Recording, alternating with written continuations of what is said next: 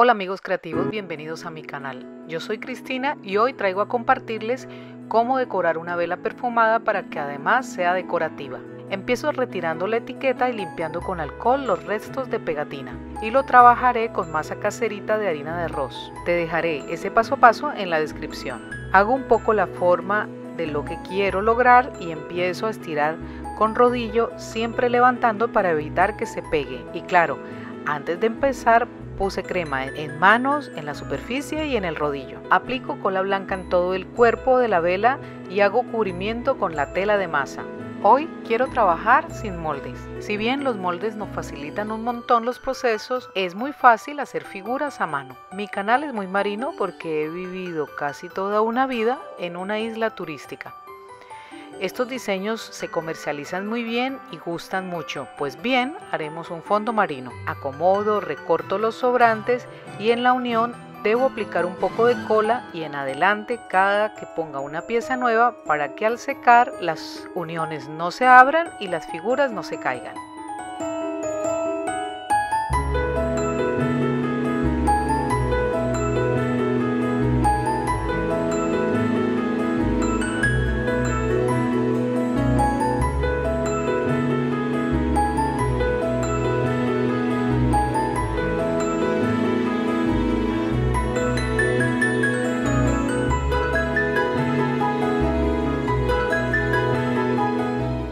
Con un estilete bolita o algo que tengas en casa que se le parezca, hago una textura y luego con una de menor tamaño hago ventanitas por donde pasará la luz cuando la vela esté encendida. Con un churrito irregular lo aplano, lo pego y puedes usar en este caso un tenedor para lograr una segunda textura. Estos serán montículos de arena.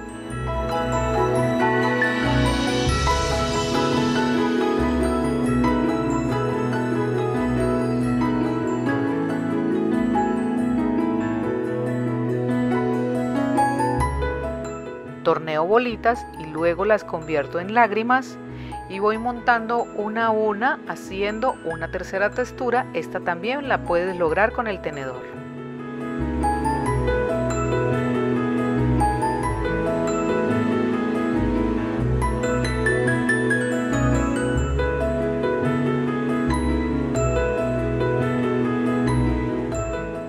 Unos bastoncitos que en una punta con un lapicero sin mina Puedes tornear apoyando sobre el dedo y resultan unas campanitas que en grupo conforman un bello coral.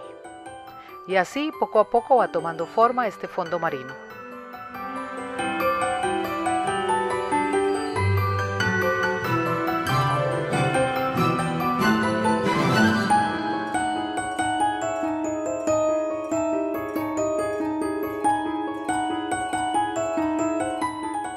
Los peces muy sencillos. Estiro masa no tan delgada y a mano alzada trazo y corto las siluetas.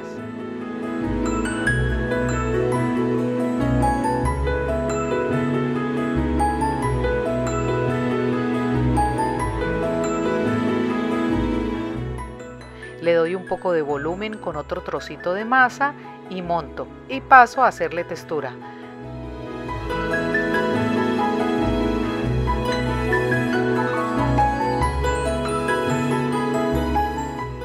Marco la cabeza, el ojo, las escamas y tallo la cola con líneas profundas. Aquí todo vale. Te puedes inspirar buscando imágenes de fondos marinos en Pinterest y volver al tiempo en el que jugábamos con plastilina. Es encantador y como siempre digo, pura terapia. Yo tengo el mejor trabajo del mundo.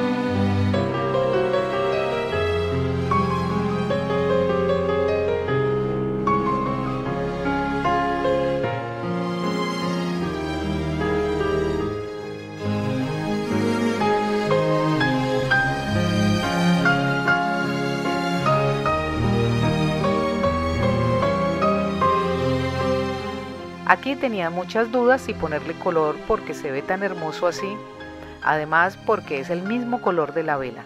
Bueno, consulté en casa qué hacer y la respuesta fue, mamá, ponle color. Entonces aplico una capa muy generosa de acrílico negro y después acrílico blanco en brocha seca.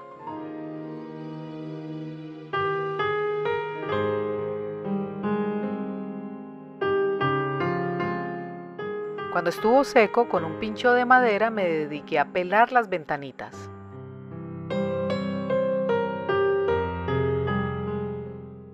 Y ahora sí, el color. Lo trabajé con óleos translúcidos, son fáciles de aplicar y se funden muy bien entre sí.